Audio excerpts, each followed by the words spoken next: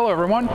In this two-part video tutorial, we're going to first show you how to make a seamless brush-on glove mold using the Rebound 25 to create the actual mold. And then we're going to show you in the second half how to create a lightweight epoxy shell using the Epoxamite 102.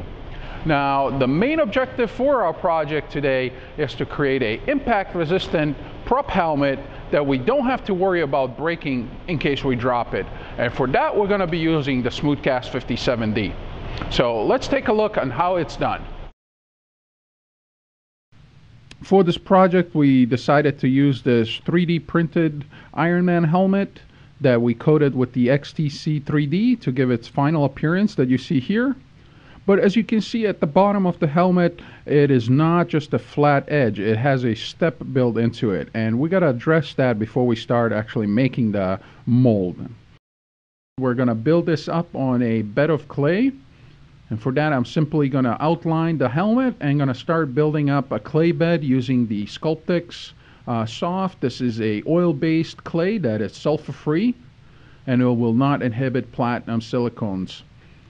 Now once that is built up, we can test fit it and with a little bit of uh, maneuvering and trimming, we can then simply position the helmet on top of this bed clay and then we're going to go around the perimeter and close any of the holes that are still showing between our model and the clay layup. Uh, one more visual inspection. Everything looks good. And I'm going to put uh, some Sonite wax on that working surface, the, the board itself, to make sure that the silicone does not stick to that. It is a porous wood surface, and we want to make sure that that is sealed.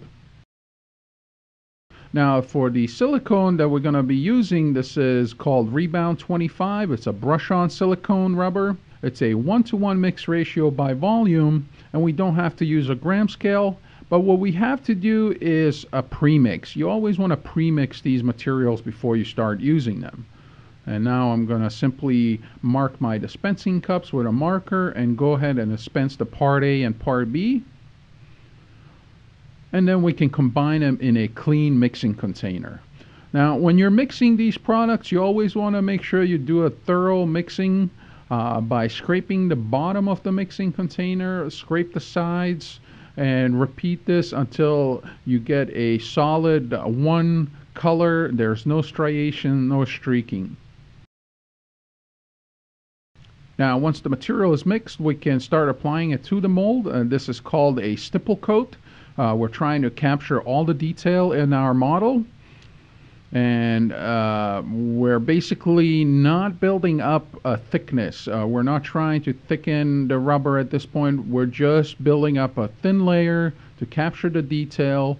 And once we have the model covered, we can proceed to uh, covering the working surface with a layer of silicone as well.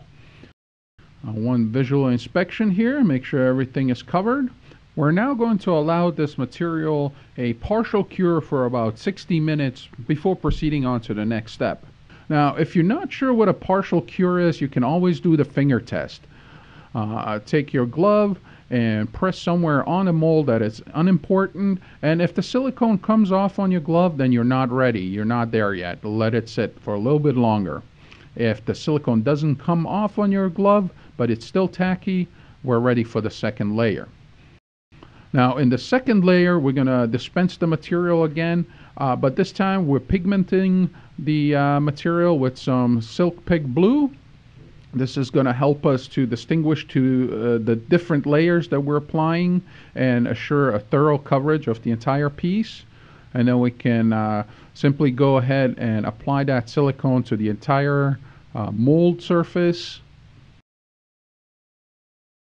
the material is now allowed a partial cure for 60 minutes before moving on to the next step. So you can see for this next layer that I'm dispensing more material than we did in the first two. Um, this is simply with the thought that we're going to be making some keys. Now once the material is mixed up, we can simply pour it into these little shot glasses and then we're going to use the uh, aluminum channel here that I'm going to plug with some of that same clay, the Sculptex clay, and then we're going to pour the silicone into that channel. Notice that I uh, wrote platinum silicone only on that channel. You want to make sure you distinguish the different tools that you use for different materials so that you don't end up with an inhibition down the line in your mold. The keys that we just poured are allowed a partial cure of two hours before demolding. Now the rest of the material that we mixed up, we're going to thicken with the Thi-Vex uh, silicone thickener. We're going to add a couple of drops, mix that in thoroughly, and then we're going to use that thickened rubber to fill any undercuts, such as the eyes, uh, the vents on the top of the head, around the earlobes, and around the chin. Uh, there's even some in the back that I was concerned about and fill those in as well. So you can see here that the silicone, once applied, doesn't move. It doesn't slump. And that's the idea behind the thickening of the material. Uh, one quick uh, visual inspection, make sure everything is uh, covered thoroughly. Once again, we're going to allow the material a partial cure for about 60 minutes before moving on to the next step. So now that we're working on the next layer, uh, we're going to again mix some material. We're going to apply it over the entire piece. Notice I'm not adding any pigment here. I'm simply focusing on the areas that are uh, dark blue and cover those with one layer of uh, the rubber. And then again, one quick visual inspection, make sure everything is covered. The material is now allowed a partial cure for 60 minutes before moving on to the next step. Now our next layer, you can see that I'm dispensing uh, double the amount of material. This is our thickened layer. We're going to add some Thi-Vex to thicken the material up. This is the meat and potatoes layer. This is where you're thickening up the entire thickness of your mold. Keep in mind that the mold thickness should be about a quarter inch to 5 sixteenths, definitely not more than 3 eighths of an inch. Keep in mind this is a uh, glove mold. We want to be able to easily peel it away. Now this layer is allowed a partial cure just like the previous for 60 minutes before moving on to the next step. Now in the meantime we can go back and demold those keys that we casted about two hours ago. You can see that the silicone is stiff enough that we can demold it. And then uh, we're going to cut that strip of silicone at a bevel. We're going to uh, cut it to create beveled keys. If you notice the little cups um, there have a bevel as well and these keys that we are uh, making should have some as well. Now to apply the keys we're going to mix a thickened batch of the Rebound 25. You're going to use again some Thi-Vex to thicken it. And then um, before I actually apply the keys to the mold, I was a little bit worried about the sharp edges around the chin area and around the neck. And to smoothen those out a little bit, I applied a little bit of more of the thickened material in those areas so that we don't have any kind of um, mechanical locking going on with the support shell. Now once that is applied, I can move on to the keys and you can see the thickened rubber stays in place. It doesn't slump. I'm going to simply place a key there and to hold that heavy key in place, I'm going to use some sewing pins. Uh, these will not damage your mold, so you can put a couple of those in there, and then we're going to move around and apply the uh, rest of the keys. And then we're going to move on to the bottom as well. Once all the keys are applied, we can go around and feather out that excess silicone uh, that is around the keys. You want to flatten that out as much as possible. Once again, we're going to allow the material a partial cure for about 60 minutes before moving on to the next step. And then we can uh, go ahead and remove those pins before applying the final layer to our silicone mold.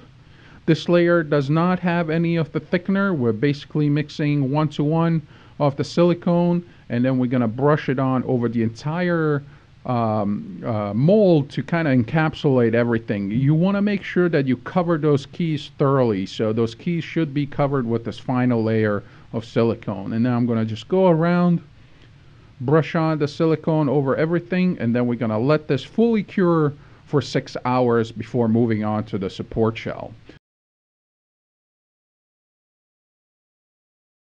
If you'd like to see the making of the support shell and casting into this mold, click on the link above. It will take you to the second half of our two-part video tutorial.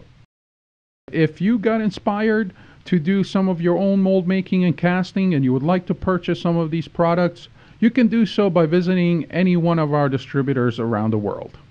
Simple step-by-step instructions on how to make a seamless brush-on glove mold using the Rebound 25. Now, if you'd like to see how we made the support shell for this mold, check out the second half of this two-part video tutorial. Now, if you have ideas about what we should do next, please let us know down in the comments below. And if you like this video, hit the thumbs up button. Now, to keep up with our latest mold making and casting videos, remember to subscribe.